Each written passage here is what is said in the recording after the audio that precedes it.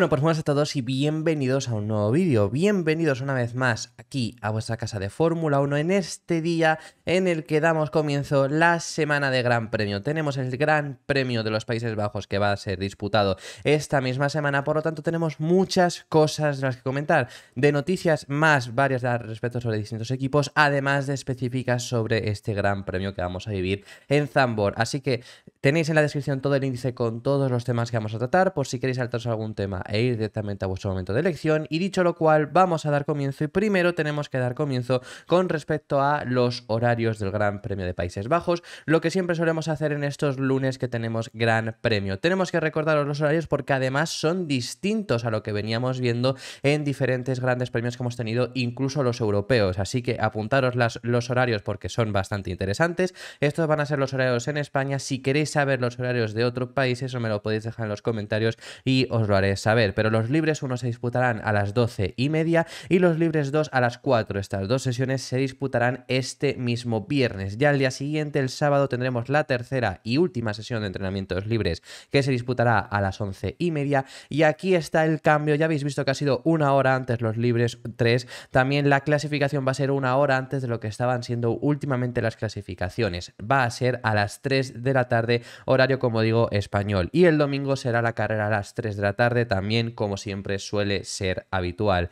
Estos son los horarios que vamos a tener para este fin de semana en el Gran Premio de los Países Bajos. Lo que digo, eso es sobre todo lo que cambia, cambian los horarios del sábado a una hora antes. Cambian a lo que veníamos viendo habitualmente en esta última etapa en la Fórmula 1. Lo digo así porque eh, realmente esto es lo habitual, tener la clasificación y carrera en el mismo horario, pero en los últimos tiempos hemos tenido pues estos horarios que han sido eh, variados también en clasificación y carrera, además no coincidiendo nunca una misma, una misma hora a la hora de la sesión que se disputa. Eso es lo que hemos estado viendo en estos últimos años. En esta ocasión va a ser de esta forma, que a mí me gusta también bastante más, tener la clasificación una hora antes, por si acaso muy brevemente, si queréis ver los horarios de otros países os dejo esta, esta captura que tenéis por aquí. Aquí están los horarios. Viernes tenéis los horarios de México, de Colombia, Panamá, Ecuador, Perú, Venezuela. Tenéis todos estos eh, países, Argentina, Uruguay, Chile, Paraguay. Todos los, todos los horarios que tenemos para este fin de semana en el Gran Premio de los Países Bajos los tenéis aquí. Tanto libres 1, los libres 2, libres 3, clasificación y carrera.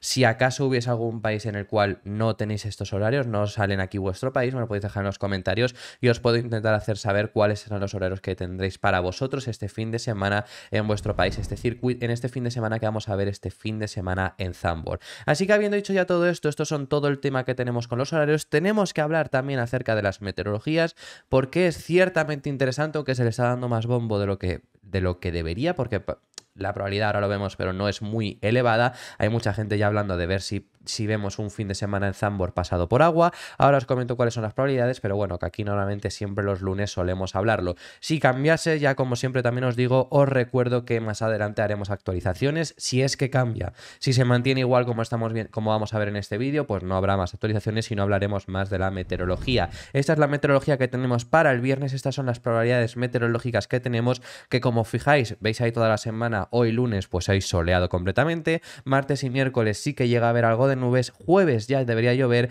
y vemos que llueve todo el fin de semana lunes, o por lo menos eso es lo que nos ponen esos gráficos, ¿no? Lo que nos pone ese eh, resumen del día, según lo que pone esta previsión meteorológica, pero ya estáis viendo que en el momento de las precipitaciones, cómo va subiendo y cómo va bajando, realmente en el momento de las sesiones, en el momento de ambas sesiones, tanto de libres 1 como de libres 2, la probabilidad ronda está justo en ese 30-35%. En los libres 1 desciende un poco más, en los libres 3 pues más o menos se ve ahí ese 35%, pero básicamente es lo que estamos viendo para este fin de, para este por lo menos primer día que vamos a tener de acción en Zambor. Este regreso de la Fórmula 1 será sobre todo pasado por seco en el, lunes. El sábado sí que las probabilidades de, de, lluvia en los libres 3 ascienden un poco, poco más, pero bueno, ascienden hasta el 60%. Vemos sobre todo lo importante ya no será entonces la probabilidad de lluvia en el momento de sesión, sino sobre todo tanto, lo veis ya del sábado, tanto durante esa madrugada que vemos que son elevadas, son un 60% también, por lo tanto podría llegar a ser que llegue a llover en algún momento durante esa noche. Si llueve, sobre todo es bueno porque limpia la pista, entonces es una pista algo diferente a lo que hemos visto en el día de ayer y además también pues por la noche siguiente pasa más de lo mismo. Ahora veremos también cuál es la previsión meteorológica durante la madrugada del domingo. Pero bueno, para el sábado la previsión meteorológica, como os he dicho, los libres 3 están en ese 60% aproximadamente, es lo que vamos a tener de esa previsión. Lo único que ya para la clasificación lo podéis ver ahí, desciende hasta el 40, hasta el 46 para ser exactos, es lo que vamos a tener. Así que las probabilidades de que llueva durante sesión importante, que es la clasificación, no es muy elevada, podría llegar a ser que damos los libres 3 pasados por agua. Y ya para el domingo, ya para la carrera, la previsión meteorológica tampoco es mucho mejor. Es más, justo vemos ese bajón enorme que hace en el momento de llegada del momento de la carrera, que es a las 3 de la tarde. Lo vemos ahí con ese 40% exacto. Anteriormente y sobre todo durante esa madrugada, justo ya además también a las 9, siendo el momento pico, es cuando vemos unas previsiones meteorológicas más elevadas, llegando hasta el 73% y más de lo mismo de lo que ya os había comentado anteriormente, que esto puede venir bien un poco pues para limpiar esa pista y para que sea una, un trazado algo distinto a lo que habíamos visto en el momento anterior. Eso podría ser algo bastante interesante, así que veremos qué es lo que acaba ocurriendo con esa meteorología, veremos si es que acaba llegando a llover. La verdad que hemos visto una temporada por ahora donde ha llovido en muchos fines de semana y en muchas sesiones. Ha habido algún fin de semana donde solo ha sido en alguna sesión de libres o ha habido fines de semana donde ha sido en momentos importantes del fin de semana. Hemos visto en este sentido bastante lluvia este año, nos ha sorprendido muchísimo, así que veremos si en Zambor vuelve a ser más de lo mismo. Y ya para finalizar, lo último que tenemos que hablar previo a este fin de semana, previo a lo que vamos a vivir en este Gran Premio de los Países Bajos, tenemos que ver ya este vídeo que estáis viendo ahora mismo aquí en pantalla. Lo ha publicado la propia web del circuito, la propia web del circuito de Zambor. Ahí vemos cómo van llegando ya distintos equipos con sus materiales al fin de semana. Ya han estado llegando, ya sabemos, ya os estuvimos poniendo incluso imágenes en este canal donde se veía que se estaban haciendo ya los preparativos para este fin de semana con respecto a pues, poner los banners de publicidad, poniendo también las partes de los pilotos y demás. Y ahora ya sí los equipos empiezan a llegar, como no hay demasiada prisa o no hay al no haber gran premio en la semana de antelación, van con calma y han estado enviándolos antes de lo previsto. Esto luego, por ejemplo, será que saldrá el domingo noche o lunes mañana, saldrán ya de camino al siguiente fin de semana que será en Monza.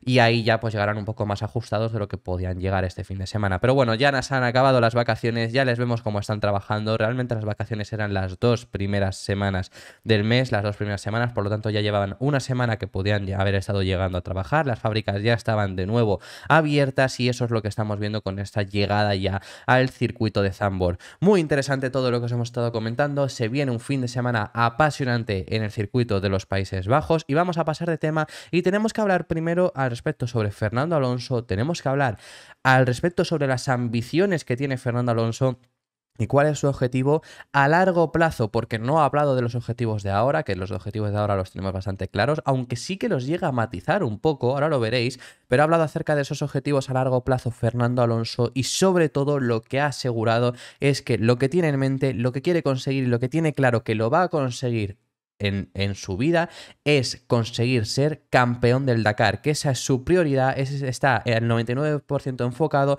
en acabar volviendo al Dakar y conseguir ganándolo, que a lo mejor necesita 10 años, 10 veces que vaya al Dakar y competir para conseguir ganarlo, pero que es el objetivo que tiene en mente y ha hablado acerca de ser campeón de nuevo en la Fórmula 1 y dice que él está encantado de pasar por este proceso, pero que no es algo en lo cual esté tan enfocado o esté tan convencido de que lo tiene que ser como sí que lo piensa con el, con el hecho de ser campeón del Dakar.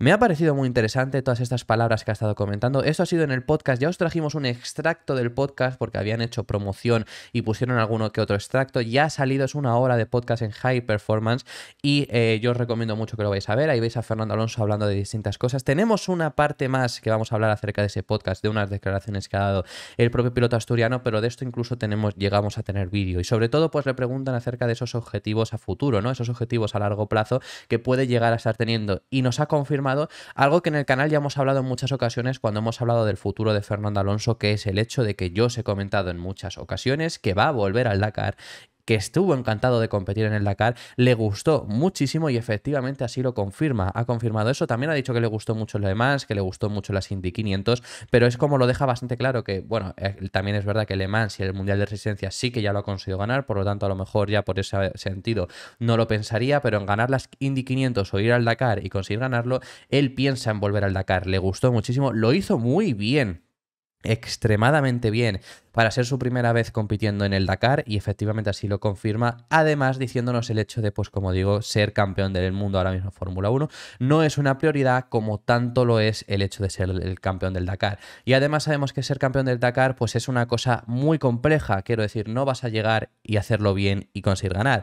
Alonso llegó y lo hizo muy bien, estuvo en algunas etapas siendo muy competitivo y no estuvo cerca de conseguir ganar. Esto es algo que necesitas mucha experiencia, necesitas mucha trayectoria ya yendo al, al Dakar por eso es, lo que él mismo comenta, que a lo mejor necesita 10 años yendo directamente al Dakar para poder tener esa experiencia y conseguir un año de suerte, llega a decir, ahora lo veremos, para conseguir acabar ganándolo, es algo que ocurre con el Dakar y es algo además, es una categoría donde no es como la Fórmula 1, que sí que Alonso ya es un rara avis de estar con 42 años compitiendo y Hamilton también con una edad bastante elevada. Ya estamos viendo que además ya estamos llegando a un punto por las preparaciones físicas que con esta edad se puede seguir sin ningún problema, porque hubo un momento con los deportes, después de pasar de que no había mucha preparación física, pasamos a un momento con los deportes en el que la preparación física empezó a ser muy importante. Por lo tanto, cuanto más joven fueses, mejor. Pero ya estamos viendo que esa preparación física ha acabado llegando a que personas, obviamente, con una edad mucho más elevada, pues puedan seguir compitiendo de tú a tú con, chicos de 20 años. Esto es algo que hace 30 años parecía impensable o incluso hace 10 años parecía impensable, pero eso es lo que ha acabado pasando. No solo en Fórmula 1, en muchos otros deportes. Estamos viendo, por ejemplo, a LeBron James competir en la, Fórmula 1, iba a decir, a LeBron James competir en la NBA a un nivel espectacular en su vigésima primera temporada. Hemos visto hasta ahora que ahora ya sí se ha retirado a Tom Brady también compitiendo en la NFL, ya no eh, deportes estadounidenses. Hemos visto, por ejemplo, a Cristiano Ronaldo y a Lionel Messi en el fútbol compitiendo a algunas edades también muy avanzadas a primer nivel en, el fútbol aquí en, en, Europa. Es decir, que hemos visto muchísimo de eso y en la Fórmula 1 está pasando más de lo mismo. Pero es que el hecho de lo que yo quería comentar con esto es que en el Dakar eso nunca ha llegado a ser importante, nunca ha llegado a ser tan importante la edad y lo estamos viendo con que al final los que suelen estar compitiendo por el Dakar suelen ser pilotos que no importa su edad, sino su experiencia, como por ejemplo el propio Carlos Sainz, que Carlos Sainz está compitiendo en el Dakar constantemente y está ahí siempre peleándolo, ha ganado tres Dakares distintos, también pues Nasser Alatilla, Stephen Peter Hansel, es decir, muchos pilotos que lo, lo que se les caracteriza es por haber ido muchas ocasiones por haber estado en muchas, eh, en muchas ocasiones compitiendo por ese Dakar, por tener mucha experiencia y por no importar la edad. No son, no son chicos de 20 años, por supuesto.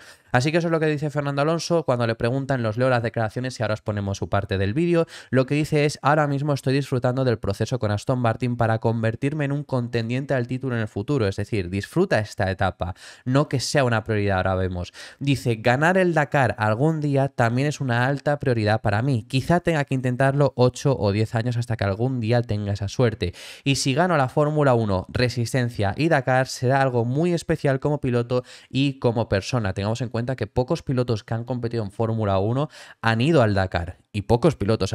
no estoy seguro si alguno ha conseguido ganar eh, alguna etapa del Dakar. Ya no estoy diciendo ganar el Dakar y ganar el campeonato de Fórmula 1. Creo que eso nunca ha ocurrido, pero no sé si ni siquiera alguna etapa. Y Alonso ha estado bastante, estuvo, bastante bien y no estuvo cerca de decir, le faltaron milésimas, por supuesto que no, porque además ahí las distancias son mayores, pero sí que estuvo con posibilidades de haber conseguido ganar alguna que otra etapa, lo hizo generalmente bien también y acabar volviendo. Pues yo estoy bastante seguro que además Alonso podría perfectamente acabar ganando ese Dakar. Así que eso es lo que dice Alonso, ese es el objetivo que se marca. Ahora seguimos un pelín con sus declaraciones, con un último tema, pero esto es las palabras del propio piloto asturiano. Yeah, eh, exactly like that. I would love to win the championship one, once again, but it's not the highest priority. I think is I'm, I'm enjoying the the process of, um, especially now with Aston Martin, to uh, become a, a, contender for the future. Um, I'm, I'm loving the time with, with the team, how we are all growing up in many different areas.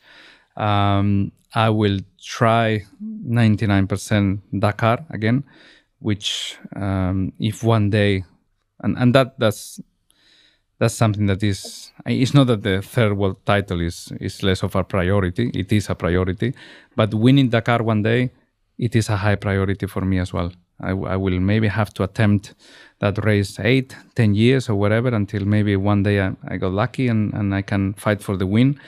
But if I win uh, in Formula One, in endurance racing, and in uh, Dakar, that will feel for me something special uh, as a driver and as a person. So those kind of challenges are, are in my in my head at the moment. Y ya para finalizar, lo último que tenemos que hablar sobre esta parte de Fernando Alonso y sobre las palabras que ha dado en aquel podcast. En esta ocasión nos hemos leído el vídeo porque sus declaraciones eran muy extensas, por lo tanto no lo vamos a incluir aquí, pero sí que os lo vamos a leer y sobre todo Alonso ha hablado acerca de cómo fue vivir su momento fuera de la Fórmula 1, cómo fue esa sensación que tuvo y el aprecio que vio de los aficionados y cómo eso le hizo cambiar para su regreso. Y se refiere sobre todo a en el momento en el que se había marchado de Fórmula 1, después de haber estado compitiendo durante años con McLaren y con McLaren Honda sobre todo, donde años donde no había podido estar compitiendo, momento en el que él se pensaba que no iba a recibir tanto cariño, en cualquier momento en el que se encontraba un aficionado por la calle, lo que le repetían es vuelve a la Fórmula 1.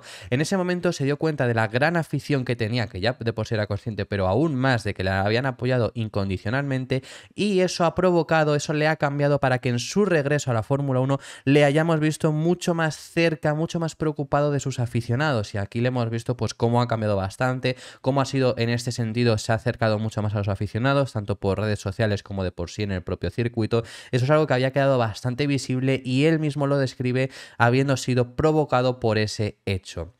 Que es que Alonso tiene un eh, apoyo por la afición impresionante, o sea, pero es que lo sorprendente no es aficionados que, por ejemplo, como mi caso mismo, hemos empezado a ver la Fórmula 1 gracias a Fernando Alonso. Es el, el, caso de muchas personas ahora mismo en, la, en España de una edad más avanzada, de mi propia edad. Somos muchas personas las que empezamos en su día a ver Fórmula 1 gracias a Fernando Alonso, gracias a todo lo que trajo. Pero es que hay personas de ahora 10 años, 13, 15 años que no habían empezado a ver la Fórmula 1 por Fernando Alonso, que han empezado a ver la Fórmula 1 ahora, tanto si por Drive to Survive o por, eh, porque en sí se han interesado, que puede haber llegado a pasar, por supuesto, o por el hecho de lo que ha ocurrido ahora con Fernando Alonso, con todo este bombo que se ha generado al respecto sobre la 33 y demás. Eso ha pasado muchísimo y aún así sigue recibiendo apoyo. Cada vez son más las generaciones que reciben apoyo. Alonso es, por supuesto, el piloto español más apoyado, sin lugar a dudas. Y eso es lo que llega a comentar. Él era consciente, por supuesto, de ese apoyo porque quedaba bastante visible. Pero después de varios años compitiendo para McLaren Honda, ¿no? el último año que ya compitió sí fue McLaren Renault, pero seguía sin poder estar compitiendo. Después de muchos años donde había dejado de estar en lo más alto de la parrilla y a lo mejor mucha gente se podía haber desenganchado cuando se retiró esos dos, dos años, 2019 y 2020, y se encontraba con cualquier persona le repetían regresa a la Fórmula 1 y eso le hizo cambiar ese pensamiento que lo estamos viendo ahora mismo.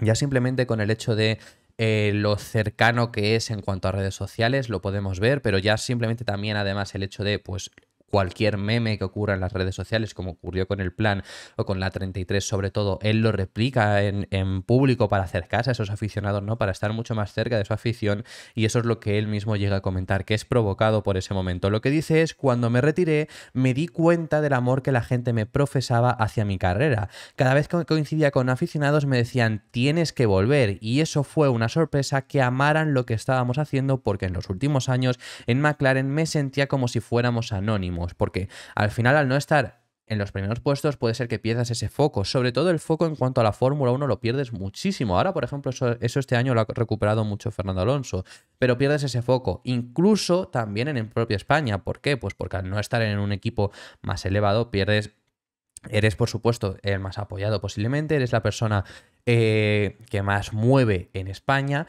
pero hay que cubrir muchas otras cosas. En sí, en cuanto a los aficionados, se tienen que centrar, al final también lo que te enseñan en televisión, si no es ni el propio Fernando Alonso, pues te centras en otras cosas.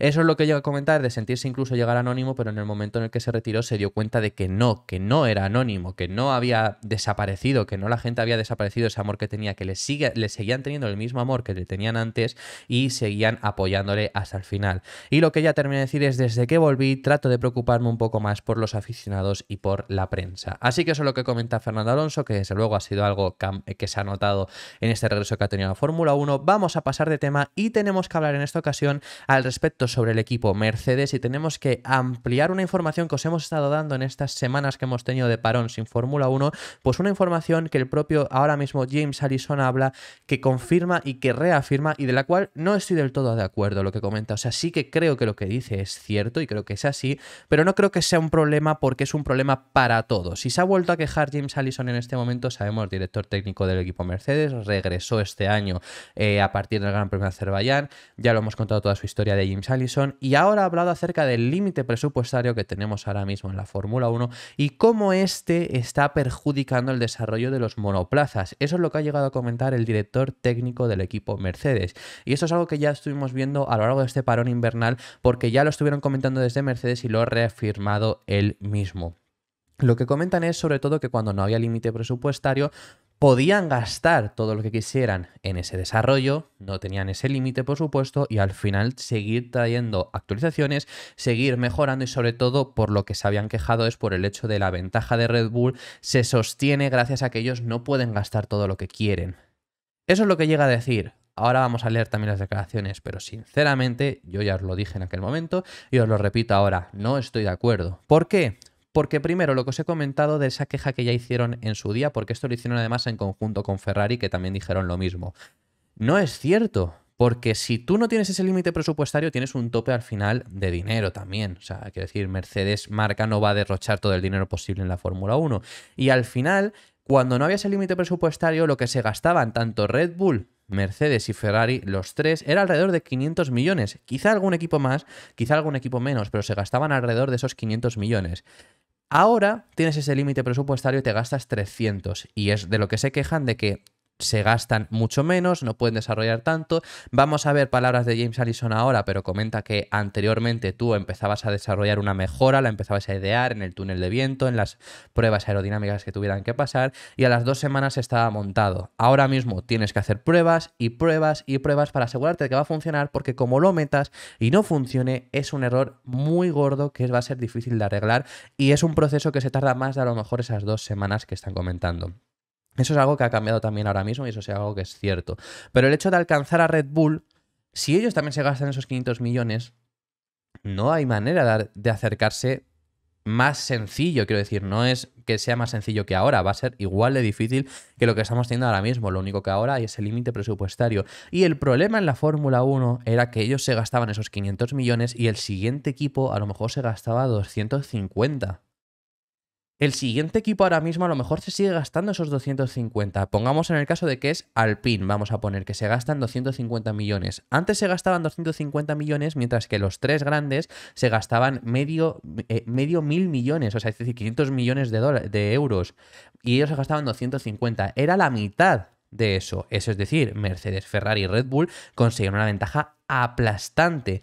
Ahora mismo Alpine no llegaría al límite presupuestario que están en los 300 millones, pero por lo menos solo te estás gastando 50 millones menos que tus rivales. Es una diferencia enorme y es por lo que se ha instaurado.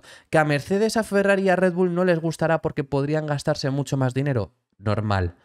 Que la Fórmula 1, hay medidas en las que la Fórmula 1 falla, hay cosas en las que se podrían mejorar, pero que el límite presupuestario es una medida que la Fórmula 1 tenía que tomar, es buena y, funciona en ese sentido porque puede generar una mayor igualdad, yo creo que es así. Alpine va a seguir su plan de desarrollo. Haas, por ejemplo, ¿no? A lo mejor el equipo que más problemas de dinero tiene, pues desde luego que al límite presupuestario no llegarán, pero van a seguir su plan de desarrollo y demás. Por supuesto, Alpine sí que llega a ese límite presupuestario y McLaren también, Aston Martin también. Quiero decir, hay muchos equipos que sí que llegan a gastarse esos 300 millones, por lo tanto están en igualdad de condiciones ahora mismo frente a Ferrari, Mercedes y Red Bull. Una igualdad a la cual no estarían si no hubiera ese límite porque ellos disponen de mucho más dinero, entre por generalmente haber quedado en posiciones más altas, porque las estructuras que lo defienden son poseedoras de mucho más dinero. Y ya no, este límite presupuestario ya no es el hecho de que Alpine, McLaren y Aston Martin gasten ese mismo dinero, sino sobre todo por el hecho de equipos como Haas, como Williams, que sufren más de dinero, no pierden tanto déficit contra los rivales. Es una forma en la que se puede conseguir mayor igualdad y Mercedes no le gustará, pero es que creo que sí que esta es una medida la cual está bien tomada, la cual se puede modificar el dinero que se gastan, pues se puede modificar, se estaba pidiendo que se aumentase un poco, pues eso es algo que la Fórmula no puede tener en cuenta, pero que el límite presupuestario no es una mala medida ni por nada del mundo. Así que bueno, esto es lo que dice James Allison y, y pasamos de tema. Sus palabras han sido las siguientes El desfase entre lo que se ve el coche y lo que se hace en el túnel de viento es la rapidez con la que se transmite la geometría del túnel de viento a la oficina de diseño y cómo ésta puede enviarla a la fábrica para que, se, para que se fabrique. Es decir, eso es la diferencia que había con y sin límite presupuestario. Con límite presupuestario los procesos son mucho más tardíos porque te tienes que asegurar de que va a funcionar. Antes hacías eso y lo introducías, si no funcionaba lo quitabas a la siguiente carrera y había pasado un transcurso a lo mejor de tres semanas. Ahora pasa un transcurso de quizá dos meses. Antes, cuando no existía ese límite presupuestario, dice James Allison, podías sacar esas cosas del túnel de viento prácticamente cada dos días y la gente las diseñaba y después las construía a toda prisa, lo que significaba que el desfase entre el túnel de viento y la pista era siempre de unas semanas. Eso es lo que yo a comentar y yo ya os he dicho mi opinión al respecto. Pasando de tema, tenemos que hablar acerca de uno de, los equipos que están en la zona baja, un equipo que ha defraudado bastante esta temporada porque el año pasado hicieron su mejor posición final desde que entró el patrocinio grande que es Alfa Romeo. El año pasado lograron la mejor posición desde que Alfa Romeo llegó conjunto al equipo Sauber. Empezaron 2022 muy bien, luego sí que fueron decayendo, pero consiguieron mantener sexto puesto en el Mundial de Constructores, mejor posición que habían conseguido nunca desde, como digo, la marca italiana eh, fue patrocinador de, de, Sauber y sabemos que este es el último año de Alfa Romeo y querían hacerlo bastante bien. El problema, pues que Bahrein lo empezaron bien, los test de pretemporada sorprendieron mucho, parecía que iban a estar en una posición más elevada y luego ya de por sí en Arabia Saudí no fue así. Bahrein se adaptaron muy bien, consiguieron un buen rendimiento, pero no volvió a ser nada igual. Hemos visto alguna ocasión donde han conseguido en puntos, hemos visto alguna muy buena actuación como lo fue la clasificación de Hungría, pero ya está. No hemos visto nada más de por parte del equipo Alfa Romeo y estos son conscientes desde Hinwil. Así lo ha confirmado Alessandro Aluni Bravi, jefe del equipo Alfa Romeo. Y lo que ha comentado sobre todo es que ha confirmado el plan de actualizaciones que van a tener para este final de temporada temporada, que se vienen dos paquetes de mejoras grandes para el C43. Uno será realizado en Monza, Gran Premio de Casa para Alfa Romeo, y otro será realizado en Suzuka. Esos dos fines de semana veremos dos cambios grandes en el Alfa Romeo. Sabemos que para ellos es importante también porque es el último año de Alfa Romeo como tal. Se habla de la posibilidad de irse a Haas, de patrocinar a Haas, pero en el caso de irse con el equipo Haas, ahí sí que es patrocinio puro y duro. quiero decir, ahora mismo Alfa Romeo sí que tiene toma de decisiones, sí que no es únicamente un patrocinio que están realizando con Sauber. En el momento en Haas sí que es únicamente un patrocinio, convertirte en el patrocinador principal. Quizá el equipo pasa a llamarse Alfa Romeo Haas, pero eres un patrocinador y ya está. No va a tener más toma de decisiones. Entonces, para ellos es importante hacerlo bien este año, por lo menos es el último año asegurado ahora mismo que Alfa Romeo se va a mantener en la Fórmula 1 y es ese plan de mejoras, independientemente de que quieran hacerlo bien. Ya lo hemos comentado en el canal es decir, quedan dos paquetes de mejoras grandes para cada equipo. Dos o uno. Y queda uno en los equipos en los que ya le han hecho dos. Por ejemplo, Mercedes podría quedarles uno, McLaren podría quedarles uno, pero en el caso de Alfa Romeo les quedan dos. Ferrari, por ejemplo, yo creo que les quedan también dos, porque únicamente paquete de mejoras grande lo hicieron en Austria. Aston Martin le deberían de quedar dos, porque el único lo hicieron en Canadá y así sucesivamente. Por parte de Alfa Romeo, por lo tanto, les quedan dos y esos dos son los dos fines de semana que ya hemos comentado. Es decir, este fin de semana en, en, Zambor no. Al siguiente veremos esa primera actualización y luego tendremos que esperar a Japón, que no son muchas carreras más. Así lo ha confirmado Alessandro Luni Bravi, que sus palabras han sido: tenemos un plan de mejoras para esta segunda mitad de la temporada. La próxima gran mejora llegará en Monza y tendremos importantes también para Suzuka. Lo que está es que necesitamos mejorar, así no es suficiente con una décima. Que además ha comentado que saben cuáles son los puntos débiles, están trabajando en ellos y esperan conseguir con estas mejoras mejorar esos puntos débiles para de esta forma poder ser más competitivos. como digo, con esa excepción de Hungría, realmente nunca les hemos vuelto a ver competitivos y simplemente en algún fin de semana han estado en alguna posición más elevada. Y para finalizar, el último tema que tenemos que hablar en esta, en esta ocasión y finalizamos, tenemos que hablar acerca del Gran Premio de Emilia Romagna tenemos que hablar acerca de Imola porque se ha pronunciado el presidente del circuito de Imola y ha hablado, está pidiendo a la Fórmula 1 un gran premio extra. ¿A qué se refiere con ese gran premio extra? Es decir, tener ahora mismo su contrato es hasta 2025, como no disputaron el Gran Premio 2023, que se les extiende este contrato hasta mínimo 2026. Tener esta carrera extra, tener una posibilidad de hacer un gran premio de compensación por lo que ocurrió en ese 2023, pues un gran premio por lo menos asegurado más, y de esta forma poder devolverle a la región pues todo lo que ha hecho la Fórmula 1, que pusieron bastante dinero, y eso es lo que comenta, como digo, el presidente del circuito de Emilia Romagna, que por supuesto a mí me me encantaría, me encantaría que siguiera más allá de 2026, pero mínimo ahora mismo ellos están solicitando eso. Y sinceramente creo que se les debería de dar.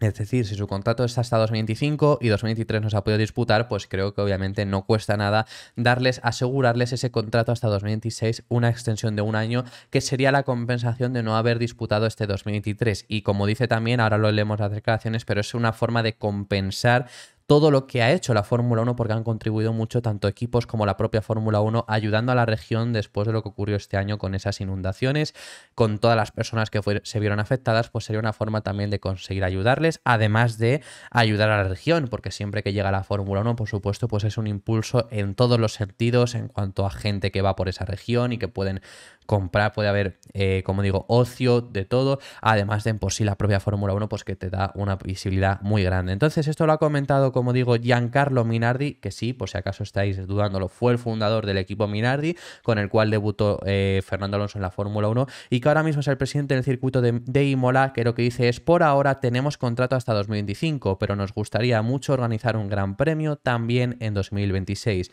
De esta forma podríamos devolverle algo a la región, porque la Fórmula 1 nos dejó mucho dinero. Así que bueno, esto ha sido todo lo que ha estado comentando, todo lo que ha ocurrido con la Fórmula 1 en el día de hoy. Muchísimas gracias por haber llegado hasta el final del vídeo. Dejadme en los comentarios vuestras impresiones acerca de cualquier tema que hemos tratado, que estaré encantado de leeros. Dar un like y suscribiros si os ha gustado porque apoyaréis muchísimo el canal y nos vemos en el siguiente que seguiremos hablando de Fórmula 1. Un saludo.